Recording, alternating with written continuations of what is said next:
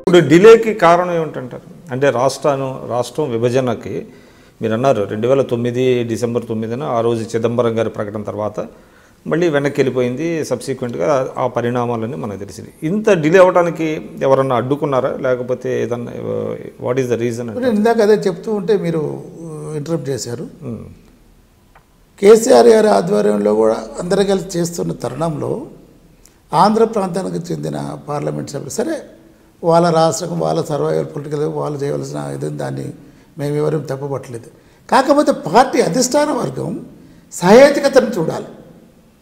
సోనియా గాంధీ గారు నిజామాబాద్ సభలో మాట్లాడుతూ స్పష్టంగా ఆమె చెప్పడం జరిగింది.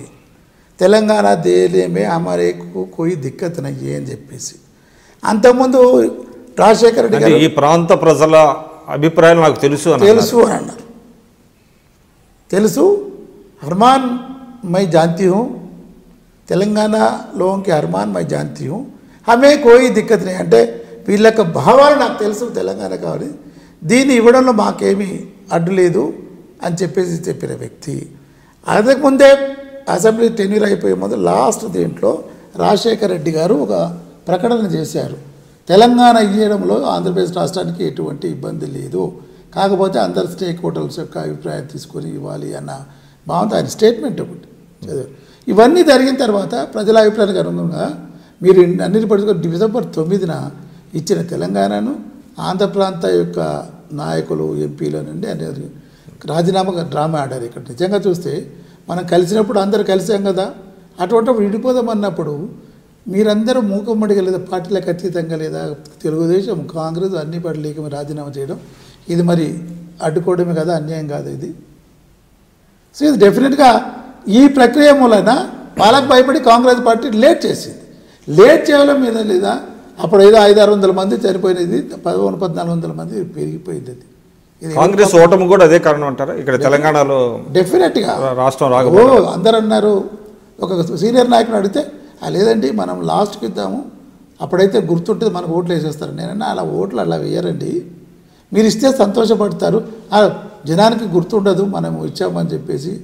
అని మీరు ఒక రాజకీయ లబ్ధి గురించి చేసిన దాన్ని ప్రజలు ఇక్కడ ఏమన్నారంటే నేను ఇందాక చెప్పినట్టు మీరు ఇదే కనుక ఇచ్చింటే ఇంత ప్రాణ నష్టం జరిగి ఉండేది కాదు.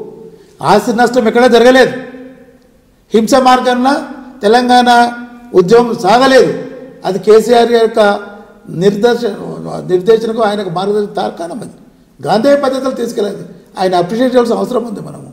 ఇంత పెద్ద ఉద్యమం గతంలో పంతొమ్మిది వందల అరవై తొమ్మిది పోల్చుకుంటే అప్పుడు హింస జరిగింది. కానీ ఇప్పుడు హింస జరగలేదు. ప్రభుత్వ ఆస్తులు తగలబడలేదు. బిల్డింగులు తగలబడలేదు. ఎవరికి ఇతర ప్రాంతాల నుంచి వచ్చిన వ్యక్తులకు ఎవరు కూడా అటువంటి హాని అసలు రాష్ట్ర సాధనలో కేసీఆర్ పాత్ర చాలా పరిమితం. మిగతా అంటే ప్రజా సంఘాలు కానివ్వండి మిగతా పార్టీల సహకారం కూడా తెలంగాణలో అందరిది ఉన్నది. కానీ కేసీఆర్ మాత్రమే ఈ మొత్తం క్రెడిట్ని ఆయన తీసుకుంటున్నారు టీఆర్ఎస్ తీసుకుంటుంది అనేటువంటి విమర్శ కూడా ఒకటి ఉంది కదా. ఇప్పుడు ఒక సామెత ఉందండి ఇంగ్లీష్లో.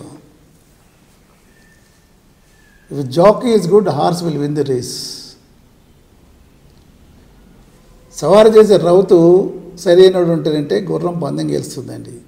వీళ్ళందరి కాంట్రిబ్యూషన్ ఉంది. దీన్ని అన్డినేబుల్ దీన్ని ఎవరు కాదనలేము అన్ని రాజకీయ పార్టీల ప్రమేయం ఉంది అన్ని సంఘాల ప్రమేయం ఉంది జాకుల ప్రమేయం ఉంది సకల జనుల ప్రమేయం ఉంది దీంట్లో.